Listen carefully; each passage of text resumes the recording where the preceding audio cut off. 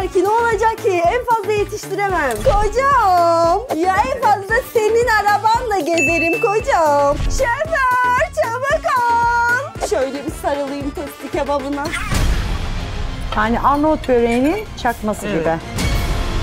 Zuhal Hanım ben size küçük bir şey söyleyeceğim. İçeride küçük bir aksilik yaşadım. Ama yeniden hazırlıyorsunuz. Yeniden hazırlayacağız.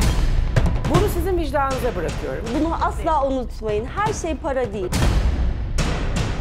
Birazdan 15.000 TL'ye kavuşacak olan bu haftanın şampiyonu gelinimiz